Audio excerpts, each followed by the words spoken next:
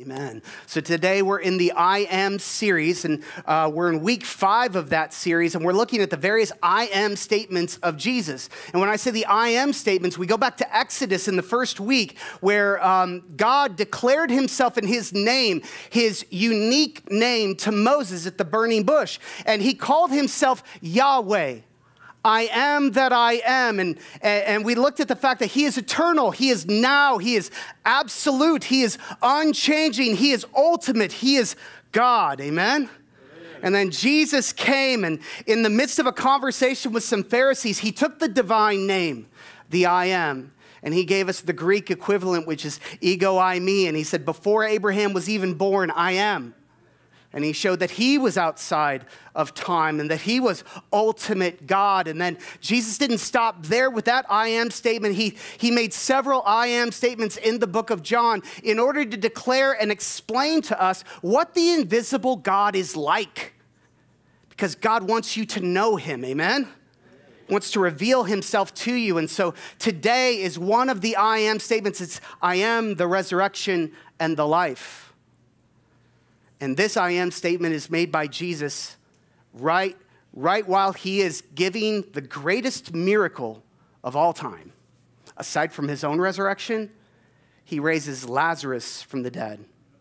Now, some of you guys know this story, and I just need you to do something for me. If you grew up in Sunday school or in church and you're, you're listening to this and you're like, yeah, I've heard that story about a million times, just pray a quick prayer to God in your heart.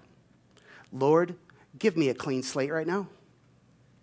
Lord, give me great expectation that you're going to show me new things that I need to learn today. Can you pray that? It matters. We're going to go into John chapter 11. Now, this is right on the heels of what we talked about last week. Remember the man born blind, and Jesus healed him, and then Jesus told us all about the good shepherd and that he was the good shepherd. So, this is the chapter right after that. Verse 1 A man named Lazarus was sick, and he lived in Bethany with his sisters, Mary and Martha. So the two sisters sent a message to Jesus telling him, Lord, your dear friend is very sick. Just a couple things I want to pull out of there. Number one, he's sick, he might die, so they send Jesus a letter. Think of it like a prayer request. And what do they say in it? They don't say, he's given this much money to the offering. They don't say, he served in the nursery this long. They say, Jesus, you love this guy letting you know he's sick. It's a good letter, amen? Simple and to the point. The other thing I want you to notice is that they're named here Lazarus, Mary, and Martha. Now that's significant because if you think through a lot of the different uh, passages in, in the Gospels where Jesus does miracles, we don't often get their names. Even the man born, born blind, two chapters ago, we didn't get his name or the name of his parents but we get their names. Why is that? It's an indication, even the letter is this way they're friends with Jesus. There's relationship here, there's, there's background here. So see it through that lens. Verse 4 But when Jesus heard about it, he said, Lazarus' sickness will not end in death. No, it happened for the glory of God, so that the Son of God will receive glory from this. Now, uh, real quick spoiler yes, it is Jesus going to end in death. Lazarus is going to die, if you know the story. Not to ruin it for you. He's going to die. Jesus is going to raise him from the dead. Then Lazarus, for an unknown amount of time, is going to live longer. And then he's going to die a physical death again and then get resurrected again. Is your head spinning yet? When Jesus says it will not end in death, Jesus means not ultimately. You're just going to get this from Jesus. Also, in verse 5, the ESV renders it like this says, Now Jesus loved Martha and her sister and Lazarus. So when he heard that Lazarus was ill, he stayed two days longer in the place where he was. So, so just some facts. Because Jesus loved them, he decided to delay. Have you ever prayed for God to do something and to show up, and God delayed? Oh, yeah. And God didn't show up on time. God was late. How'd that make you feel? What's weird about the passage is it says, because he loved them, he delayed. Wow. because he's got a miracle that he wants to do. Let that mess with your prayer life just a little bit. Verse 11. Then he said, and he's speaking to his uh, 12 disciples here, Jesus is, he says, Our friend Lazarus has fallen asleep, but now I will go and wake him up. The disciple said, Lord, if he is sleeping, he will soon get better. Now, Jesus is using this, this idea of sleeping to mean spiritual sleep, to mean death. And the disciples think he means physical sleep. That means he's going to get better. There's a misunderstanding here. So, verse 14 so Jesus told them plainly, Lazarus is dead. And for your sakes, I'm glad I wasn't there. For now, I, now you will really believe. Come, let's go see him. Jesus said, It's way better that we delayed. And for your sakes, it's going to be better. Why is it better for the disciples that Jesus delayed? Because Jesus is about to do a miracle that will take their faith to a whole different level. Nobody even thought resurrection was possible. Uh, if, if, you know the scripture, you know that there, there was a group called the Sadducees and a group called the Pharisees, and they used to debate and argue all the time about whether or not resurrection was even possible, whether or not resurrection was even God's plan, resurrecting human bodies. Jesus is about to do it in front of them. So it's definitely going to increase their faith. Verse 17 When Jesus arrived at Bethany, so it's a different town, he was told that Lazarus had already been in the grave for four days. Bethany was only a few miles down the road from Jerusalem. Now that's significant. Many of the people had come to console Martha and Mary in their loss. And when Martha got word that Jesus was coming, she went to meet Jesus, and Mary stayed in the house. It's only two miles away from Jerusalem. And what the passage is trying to indicate there is there were a lot of people that had come to be part of this funeral moment with the sisters, this grieving moment with the sisters. Because they were so close to Jerusalem, extended friends and family, possibly even professional mourners, had all come from Jerusalem because it wasn't that far.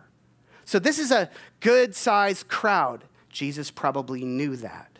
A good audience for this resurrection. Also, four days Four days mattered. He'd been in the tomb for four days. Okay, couple reasons it mattered.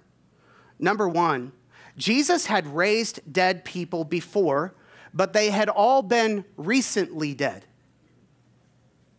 So, one reference is to Jairus' daughter had been resurrected by Jesus, but it was immediately after the daughter's death. And then the widow's son was, re- was resurrected within a day of the son's death.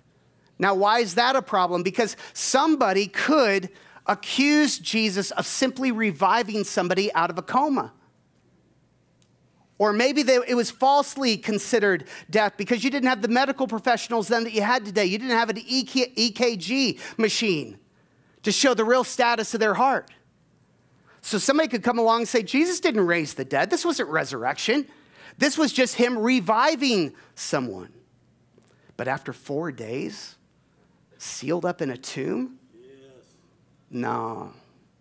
He'd started to decompose. And we're going to talk about decomposition later, so you can look forward to that. Um, also, he deliberately waited four days. There's a, there's a rabbi, within a century of this uh, text, Bar Kappara, um, he said this He said, For three days the spirit hovers about the tomb, if perchance it might return to the body. And, and what he's indicating there is that part of Jewish custom and, and superstition at that time was that when someone died, their spirit kind of hovered around. And so this was their way to explain why sometimes people they thought were dead did sometimes revive, is they thought the spirit was still up there. And under the right circumstances, maybe it just might re enter the body and they come back. So Jesus probably knew that, and he waits four days. All of this timing matters. Verse 21 Martha said to Jesus, Lord, if only you had been here, my brother would not have died. But even now I know that God will give you whatever you ask. It's a very interesting statement from Martha. She's expressing faith in Jesus' healing ability, while simultaneously accusing him. You ever do that?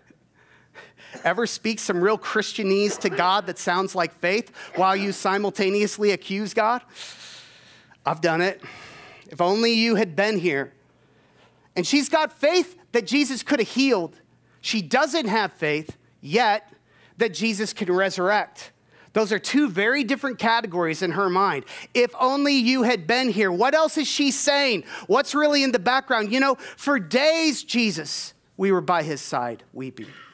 For days, we were feeding him and giving him whatever medications that we, that we knew of and that we could. For days, we were hoping and we were crying and we were yearning and we were watching the road for you to arrive and you never did. Why? I thought you loved him. Why? Didn't you care? It's all in her words. Maybe we promised him that you would arrive in time. We promised him it would be okay. And now those promises sound hollow. Why, Jesus? The pain of unanswered prayers and unanswered hopes. Some of you have been through this. Let's sit here for just a second. I got a nephew, I've told the story before, Beckham, two years old, gets diagnosed with eye cancer. It's called retinoblastoma. I Googled it at the time. What's the survival rate? And instantly I hoped that my sister would never Google the survival rate of retinoblastoma because he wasn't going to make it. Cancer in the eye was too close to certain parts of the brain. It was going to be bad. We were going to lose this little two year old nephew of mine didn't even know how to pray. He's a teenager today. God healed him. It's an amazing thing. Yeah. Praise God. In the year 2020, what a year, right? In the year 2020, my mom uh, got diagnosed with breast cancer. Uh, she had surgery, she had chemo, she went through all of the things, and she's still alive today. God spared her had more, more Christmases with her, more birthdays with her, more memories made with her. Praise God for that. What a gift that is. In the same exact year, but five months previous, my dad was also diagnosed with cancer, but he didn't make it. And I prayed just as hard for him. I was close to my dad. You ever wake up the morning after that loved one has passed away and when you wake up and you open your eyes, what you know, the only thing you know, is that the world will never be the same. And I had more to say to him, and I had more to do with him. And it did not fit my timetable. And I had asked and written my letter to God, and Jesus did not come walking up the road for me. And that was tough. Some of you guys been through that tough. Some of you guys been through it enough that you're like, why, why, God, sometimes did you come and sometimes it didn't feel like you came? See, now you're entering into what Martha was feeling in that moment as she spoke with Jesus. Verse 23 Jesus told her, now he's going to give her the truth here. Jesus is going to give the sisters and everybody present there three different gifts. I, now, I, I preach this passage quite a bit for funerals. And here's your three points if you're ever in a situation you need to turn this into a sermon. Jesus is going to give them the truth, He's going to give them His tears, and He's going to give them power. Those three things. So here comes the truth. Your brother will rise again, he says. Verse 24. Yes, Martha said, he will rise when everyone else rises at the last day. She's like, yeah, eventually. I get it, Jesus. Eventually. Jesus told her, You don't understand, Martha. I am the resurrection and the life. If I would have loved to have been there, watched him say that. Anyone who believes in me will live even after they die. Everyone who lives in me and believes in me will never ever die. Do you believe this, Martha? 27, yes, Lord she told him, I have always believed you are the Messiah, the Son of God, the one who comes into the world from God. Now she says, Yes, I've believed all this. If I could insert this for Martha, I just didn't know it meant resurrection. But she makes a good confession.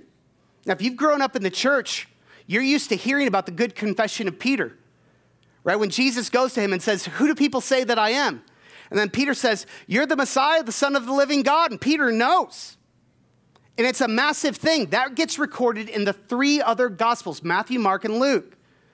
John doesn't record that for us. John records the good confession of Martha. I think that's significant. even in the midst of her brokenness and her emotion, she knows who Jesus is. Like, let that sink in for a second because um, sometimes your faith is complicated. I think it's massive. John 5 26, Jesus said, The Father has life in himself, and he has granted that some, the same life giving spirit power to the Son. So the, God the Father has life in himself. No one gave him life, he has it in himself. And the Son has life in himself. What is he saying there? He's saying he is an ultimate source of life. God is the ultimate source of life. Amen. So we've said Jesus is the bread of life, right? He is the light of the world. He is the good shepherd. Jesus is the I am that I am. Here he comes again and says, I am the resurrection and the life. Like I am the life. Amen. And what's he saying? He's saying, You all got your life through me. And that's real. Because we can reproduce ourselves as a species, but we do not create and we do not revive the dead to life. Maybe even we clone life, but we do not create life. I was even thinking about the sun. You know, the sun is such a, a, a, beautiful picture in our solar system of, of it's the center and, and it's this incredible source of power and life for everything. Every, every green thing, every blade of grass that you see, it's like a, a little solar panel, right? getting its energy from the sun and being able to grow as a result. They all depend on the sun. And then we've started to smarten up as a species and we make solar panels of our own and get electricity out of it all across the globe. And the sun is big enough, except here's the problem the sun, scientists tell us, is burning down. It's burning out very slowly. You're not going to see it but it's limited. It was begun and it will end. Why? Because it is not the ultimate source of life. Amen. The sun itself was lit by the source of light. Amen. See, that's, that's Jesus. And the same, the same one that, that set fire to the sun is the one who's going to raise Lazarus from the dead. He originated all life. Verse 32 When Mary arrived and saw Jesus, she fell at his feet and said, Lord, if only you had been here, my brother would not have died. She says the same exact phrase Martha said. You notice the soundbite is the same? It's like the two sisters have been in the back room talking about this for days. Yeah, you've, you've had that feeling before. 33. When Jesus saw her weeping and saw the other people wailing around her, a deep anger welled up within him, and he was deeply troubled. Where have you put him? He asked. They told him, Lord, come and see. And then Jesus wept. And the people were standing nearby, and they said, See how much Jesus loved Lazarus. So, this is Jesus' second gift so he gave truth and now he gives tears. He gives his emotion. Even the anger that's there is very interesting. Uh, we don't even know, based on those Greek words, exactly what kind of anger or what the anger is at. It's just there. And I won't try to explain it away to you and take any of the mystery out. The way the Greek, the, the Greek is kind of a, a negative stirring was in him, like the stirring of waters. And he's reacting to something. And I don't think he's angry at Mary here because he's crying with her tears. I'll just give you my guess. I think he's, his anger is at the broken world and the world of death that is around him. And this is what God promised. He said, Emmanuel will come and he will be God with us and he would walk in our shoes and experience what we experience firsthand. And a God who designed the Garden of Eden and never longed for death to be a part of it is now experiencing death right against him. And he responds with anger. Even on the cross, the scripture says that Christ despised the shame. He, he's got emotions, okay? So he's angry at, the, angry at this, and then he weeps with her. Why? He's about to raise Lazarus from the dead in a matter of minutes. Why weep? Because she's weeping. Isn't he philosophically, supernaturally above all of this? she's weeping, so he weeps with her. Um, if you're a parent, Linda and I are parents. We, we've raised three teenagers into adulthood mostly. Um, and thank God for that. And when you go through that, when you, when you do that, you take that role, uh, one of the things that you experience is puppy love. Ever, ever see puppy love before? It's really beautiful and fun. Um, but there can be um, infatuation that becomes so strong that when that crush gets crushed, it's super painful. And they can be devastated. But what's interesting, when you're the parent that's trying to comfort and trying to be there with them in this crushing, there's a part of you that knows this is small. But even though I know this is small, and once you live some more decades, it will get smaller and smaller and smaller. Even though you know that, you don't say, cheer up. You're not flippant about their feelings. You respect their feelings. That's empathy. You enter in. So you weep with them because they're weeping. So the tears are for the crying person. Does that make sense? And that's what Jesus is doing right now. Their life isn't over Jesus is about to heal Lazarus, but he knows this is the moment that they're in and he cares enough to enter into it with them. Learn some things just really quickly about this delay and, and about your prayer life. And I'm just going to make this very, very brief for you. But the delay of Jesus for Mary and Martha did not equal that he was disinterested in them. And so when God delays the answers to your prayers, it does not equal his disinterest in you. Amen? Jesus sees you every second. He's not somewhere else paying attention to somebody else. He hears you and he sees you. Also, delay does not equal disregard. Some of us wonder that. Sometimes it feels like my prayers are bouncing off the ceiling. Sometimes it feels like God doesn't hear me. Sometimes it feels like God doesn't see my tears. You've had the feeling, I've had that feeling. Jesus had seen all of it. He had a plan. Don't forget that. And then delay does not equal denial. God will come through in your situation in His time. Amen. In His time. Verse 38 Jesus was still angry as he arrived at the tomb, a cave with a stone that was rolled across its entrance to seal the body in. Now that's important. Roll the stone aside, Jesus told them. But Martha, the dead man's sister, protested, Lord, he has been dead for four days. The smell will be terrible. The King James Version said, He stinketh. I love the King James. So, so good. He stinketh, Lord. And she's right.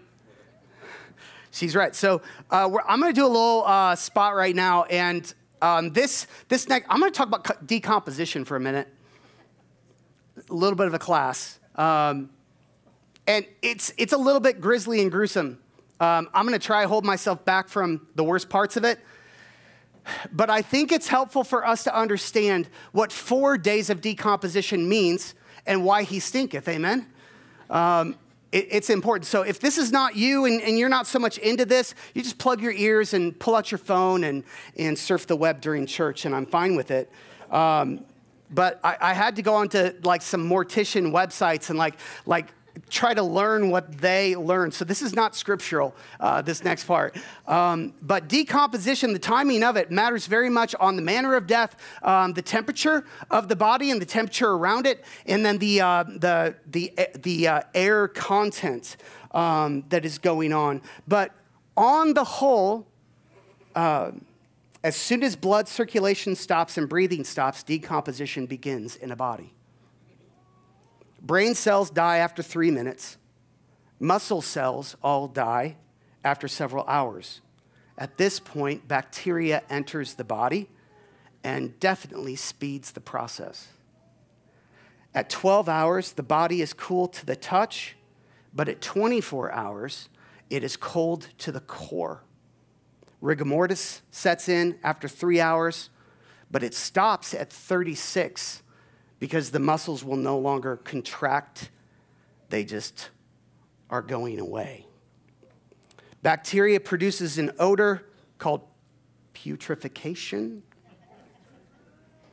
First responders, you've heard about this. First responders often smell a dead body before they find it. And it's because of this. After three days, the internal organs have completely decomposed, they're gone.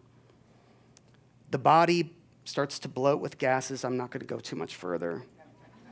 Turns a greenish color. Um, somebody coming along at that point and trying to revive the body, let's shoot some electricity through it. Nope, there's none of that. That's not happening to that body. The cells have completely, the cell walls have all broken down. Um, poor Lazarus is in some bad shape. Like when she said he stinketh, she was right. It was sealed behind that stone. You did not want to open that thing. Verse 40, let's look at what happens. Jesus responded, Didn't I tell you that you would see God's glory if you believe? So they rolled the stone aside. Then Jesus looked up to heaven and said, Father, thank you for hearing me. You always hear me, but I said it out loud for the sake of all these people standing here so that they will believe that you sent me. Now, really quick pause. Notice Jesus is saying, Father, I'm praying to you out loud right now, but I don't need to because I already prayed in my heart, and Father, you heard my thoughts. Amen. You heard my prayers. Jesus is even saying the ones that he did in the privacy of his own heart, those are the ones that mattered. He's like, I'll say it out loud just for all of you. Jesus actually does this multiple times. I, pulling this out just real quick because sometimes people will tell you in the church that if you don't pray your prayers out loud to God, they don't have power. They're wrong multiple times in the scripture.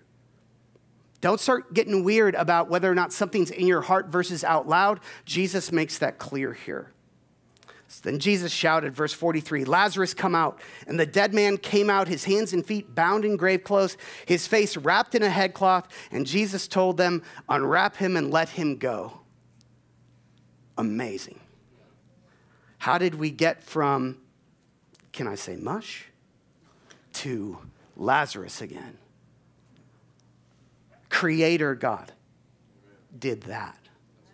It's the only way that that happened.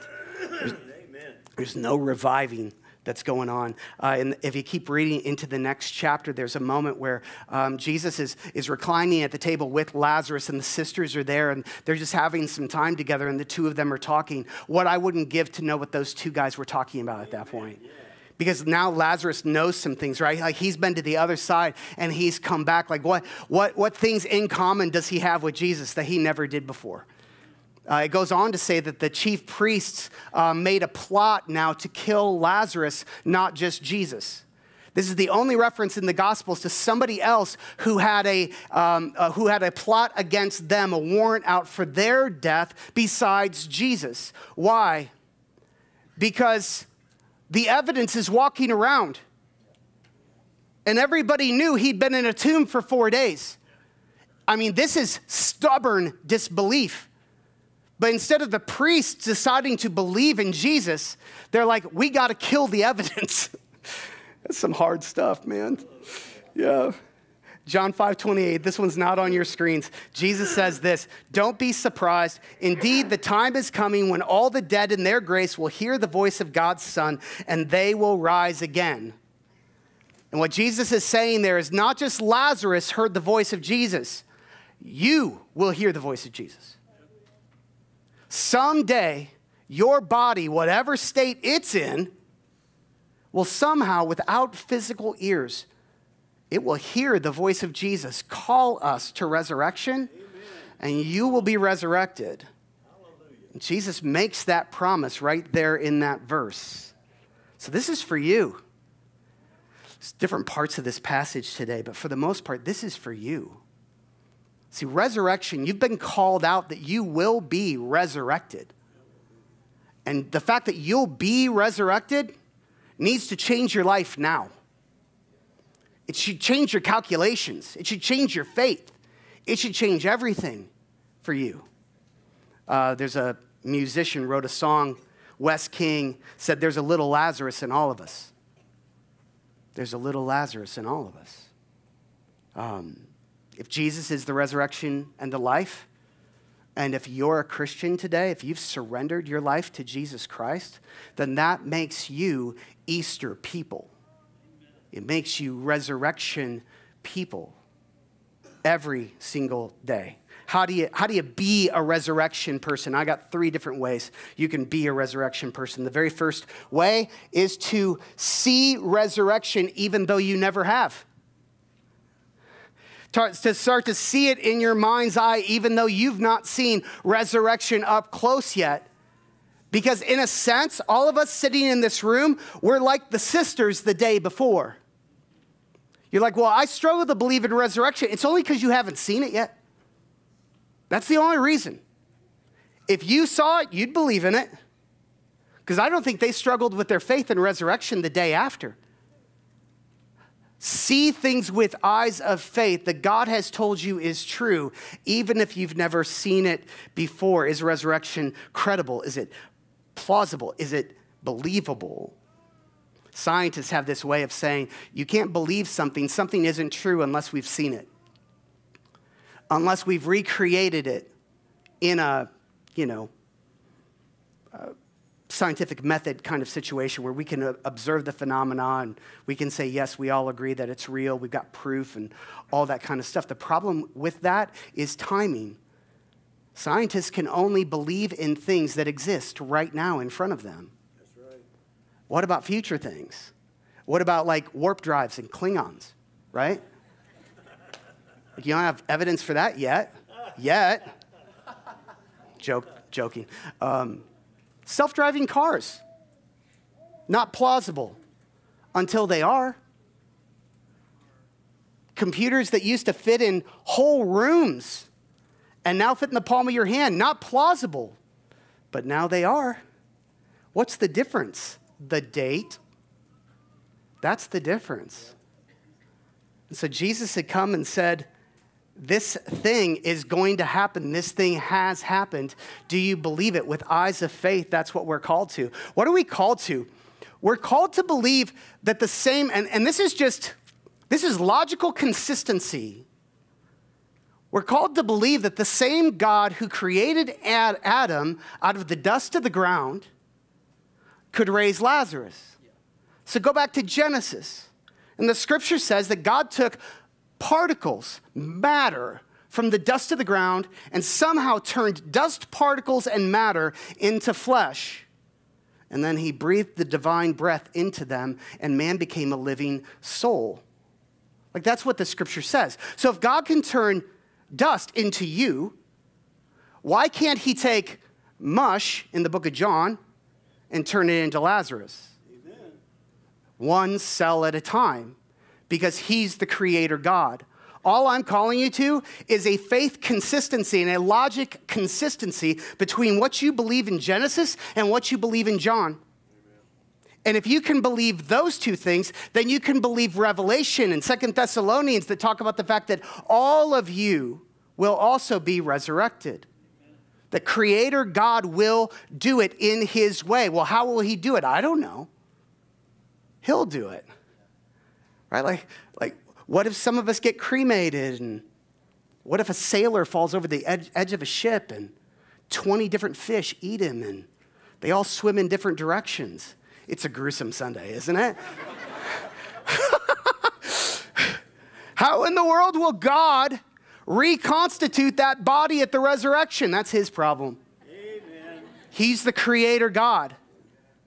Genesis, John, Revelation be consistent. It is possible. See it by eyes of faith where you've not seen it before. Are we people of faith or aren't we? Next, move your bookends. Um, people like to say things like, This life is all there is. You only have one life to live. You get 80 years and then you're done. 80 years and then it's over.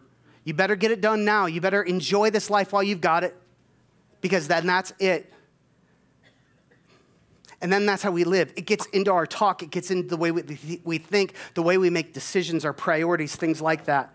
So I've got a little illustration here for you. So I got some bookends. That's Winnie the Pooh. And that's your childhood. And when you're in that, that's all there is. It's all that matters. Everything is right there. And then you, you start to have your teenage years. Get this right. Right? You, you read a little bit more, you experience a little bit more, but man, while you're in high school, man, everything's high school. 10 years later, we, we can't believe we used to believe that because everything that matters is right now. Amen. It depends on the decade that you're in.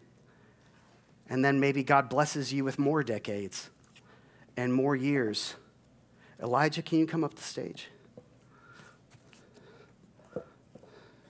And you got a whole life. Give a hand to Elijah, would you?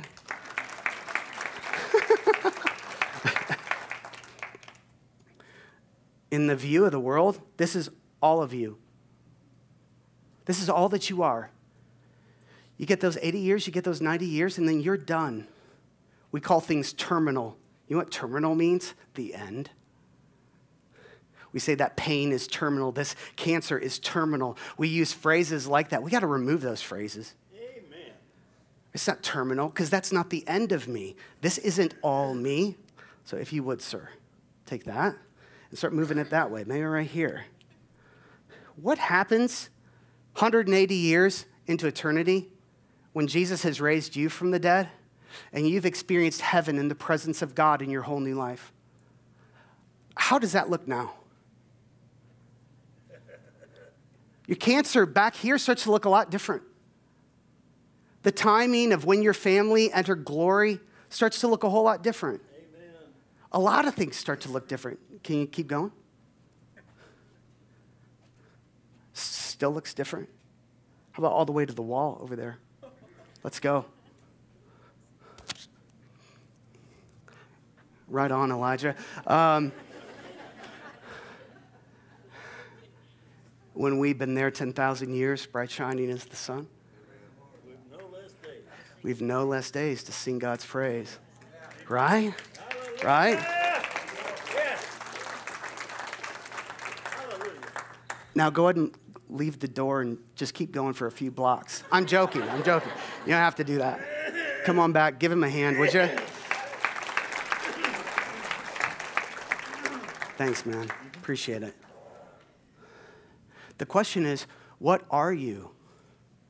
What's the essence of you? Your identity.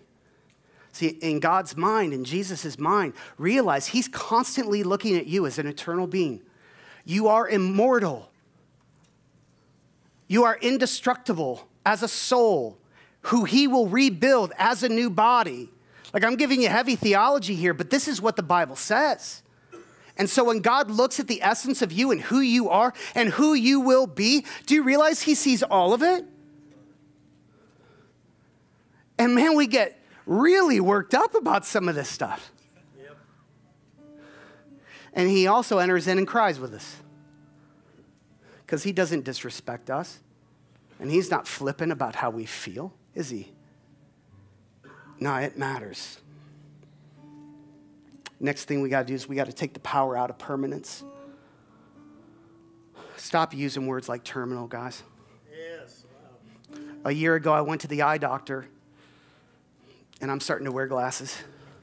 And they said, This is what happens to people your age. Thanks a lot. You'll wear these for the rest of your life.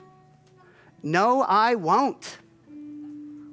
I'm not trying to be dumb Christian here. That's not what I'm trying to do. I'm not trying to be silly. I'm not trying to say you got to go and say this to everybody else, but change the way that you think. Maybe I'll wear glasses for 30 years and then I get a new body. Right? Like that starts to change things.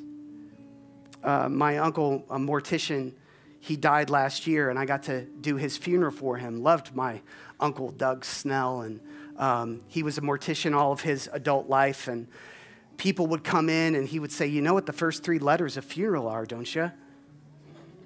God, you're slower than first service was. He's just a silly, goofy guy, uh, wonderful guy, wonderful, compassionate heart. He got Alzheimer's.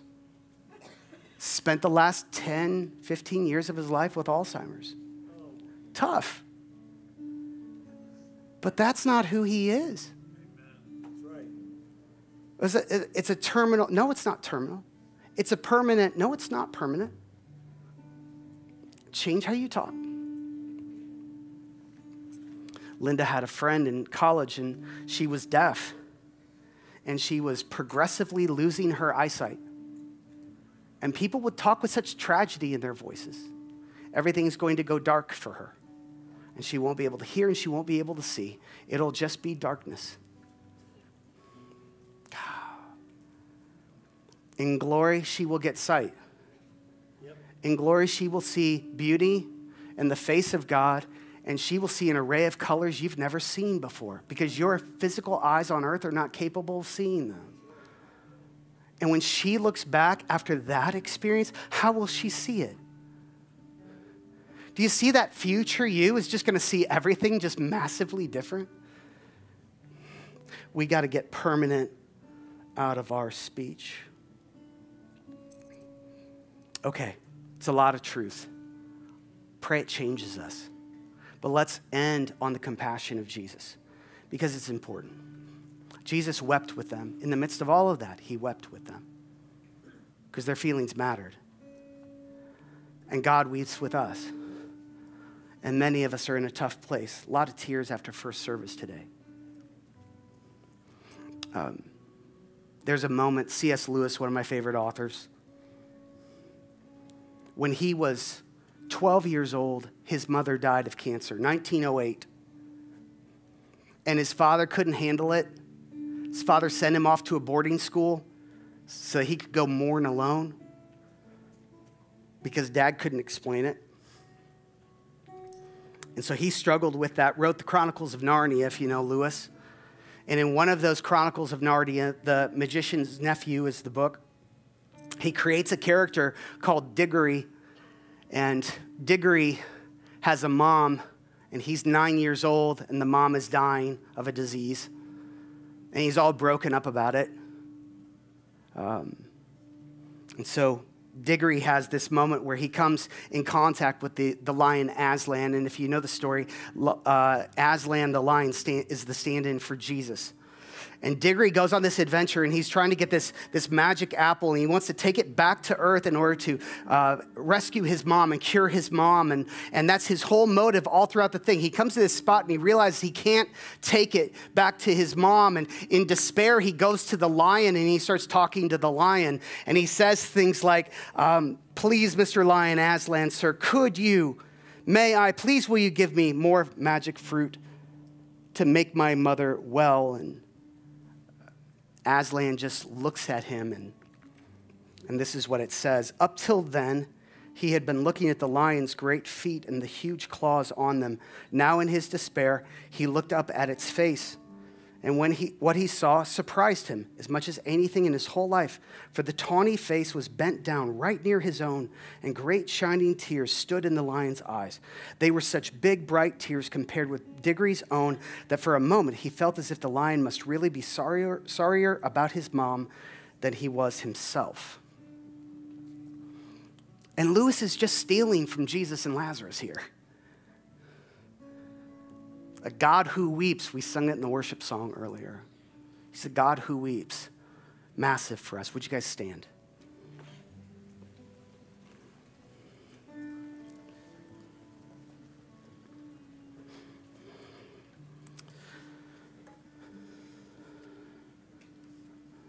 Hmm. We're going to pray. We're going to pray that we would be resurrection people. Jesus, we give you praise and glory because you are the resurrection and the life. Thank you, Lord, that you came and you proved yourself, Lord, not only raising Lazarus from the dead, Lord, but raising yourself from the dead after you died for our sins. Lord, I pray that God, that you would come into our life, God, and where we claim to be a Christian, but we're not living like one. Lord, would you start to shape us again? Lord, help us to surrender our thoughts and our words to you. Make us into those resurrection people. Thank you for these promises, Lord. They bring so much healing to us. And God, for those in the room, those even online, God, right now, that are right in the midst of a painful season, God, with loss. Jesus, I pray that they would know your presence with them now. They would be comforted by your love for them in Christ's name.